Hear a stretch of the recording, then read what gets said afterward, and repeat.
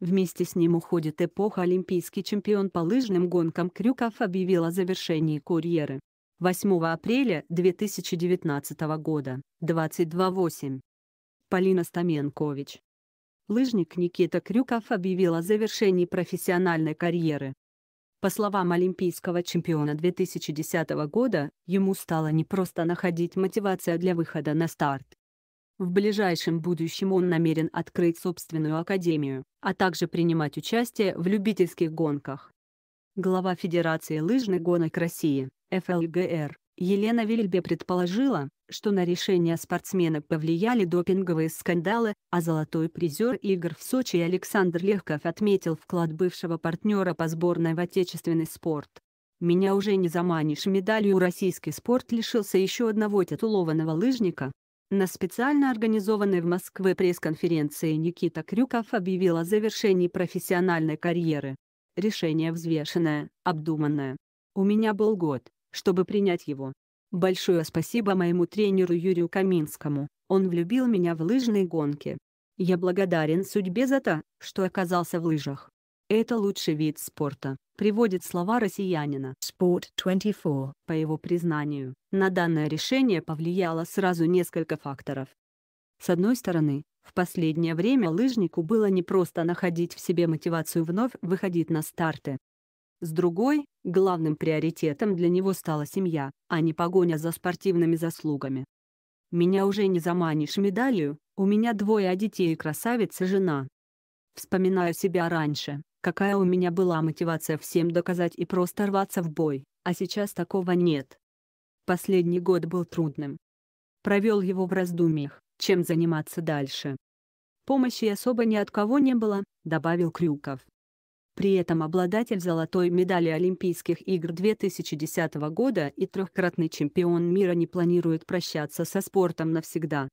В ближайшем будущем он намерен открыть лыжную школу в подмосковном Одинцове, в которой сможет делиться накопленным опытом как со взрослыми, так и с детьми. Появилась молодежь, которой не стыдно передать свои полномочия. Цель Академии – системный, правильный подход к подготовке детей, взрослых, ветеранов. Мы будем делать ставку на физическое воспитание детей, и если они захотят перейти в профессиональный спорт, то у них будет хорошая база, отметил он. Также по теме. Его вклад трудно переоценить. Почему болельщики будут скучать по завершившему карьеру лыжнику Легкову олимпийский чемпион по лыжным гонкам Александр Легков объявил о завершении карьеры. Призер чемпионатов мира и победитель Турдески. Однако болельщикам не стоит расстраиваться из-за того, что они больше не увидят титулованного россиянина на лыжне. Он рассказал, что намерен принимать участие в любительских соревнованиях. Кроме того, летом или зимой нынешнего года проведет прощальную гонку. Дебют Крюкова на международной арене состоялся в 2006 году на этапе Кубка мира в финском Кусамо. Его коронной дисциплиной стали спринтерские гонки, в которых он и добился самых крупных успехов. Сам спортсмен положительно оценил свою карьеру, пиком которой назвал золото Ванкувера 2010. При этом в ней были и отрицательные эпизоды.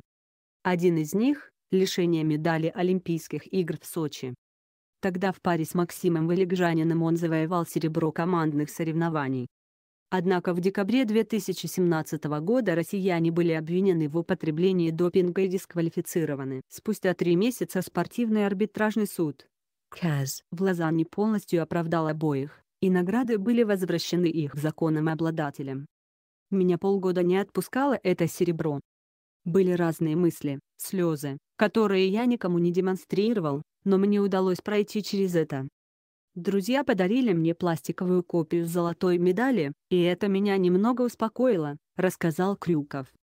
В сезоне 2018-19 лыжник не попал в состав национальной команды. Славная была охота. В то время как болельщики сожалеют об уходе Крюкова, многие эксперты отметили, что не удивлены его решением. Так, комментируя данную новость, Елена Вильбе предположила, что на лыжника могли оказать давление многочисленные допинговые скандалы в национальной команде. Мне кажется, он бы мог еще побегать, хотя его триумфальное время, безусловно, закончилось. Чисто гипотетически Никита поборолся бы за место в основном составе сборной, но практически ему было бы сложно конкурировать с молодежью, заявила глава ФЛГР. Также по теме.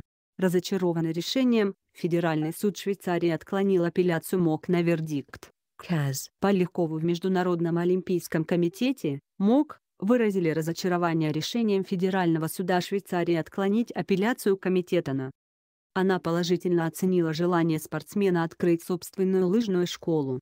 Тем не менее, по ее словам, Федерация лыжных гонок России не намерена оказывать поддержку в его начинании. Если для каждого олимпийского чемпиона создавать академию даже на уровне государства, это уже утопия. Люди не хотят делать это сами, им нужно только пользоваться своим именем. Не думаю, что Никита будет потом что-то там преподавать, заключила Вильбе. Олимпийский чемпион 2014 года Александр Легков также признался, что не удивлен решением бывшего коллеги по национальной команде. Кроме того, он отметил большой вклад Крюкова в российский спорт. Глядя на Никиту, удивлялся, как такой на первый взгляд хрупкий парень выигрывал финиш у всех топовых лыжников того времени. Но мы взрослеем, подходят молодые спортсмены. Славная была охота, очень здорово, что вместе были в обойме, выигрывали, ребята за ним тянулись. Впереди новое дело, новые свершения, это очень интересная жизнь, пусть и не такая простая, сказал Легков. К олимпийскому успеху Крюкова привел заслуженный тренер России Юрий Каминский. Интересно, что этот тандем сложился более 20 лет назад. Будучи учителем физкультуры одной из общеобразовательных подмосковных школ, Специалист в качестве эксперимента взял под свое руководство группы младшеклассников, в числе которых был семилетний Никита. По словам наставника, он наблюдал снижение мотивации у своего подопечного на протяжении последних месяцев. Мне грустно, что вместе с ним уходит эпоха. В сборной России в мире сейчас нет финишера такого уровня. Считаю, что тот опыт, которым обладает Никита, не до конца передан, и я рад, что он будет продолжать свое дело. Я бы встал на колени, если бы он тренировался. С нами он несколько раз выезжал на сборы, где сумел передать юниорам то, что сложно мне как наставнику выразить словами. Это некий чемпионский дух, который передается молодым ребятам, рассказал Каминский. В свою очередь, Успехов в будущей деятельности Крюкову пожелал и чемпион мира 2013 года и олимпийский чемпион 2010 года Алексей Петухов. Желаю Никите Крюкову найти себя в новой жизни после спорта. Учитывая его задатки чемпиона, а также очень высокие требования к себе, уверен, что у него это получится, отметил Петухов.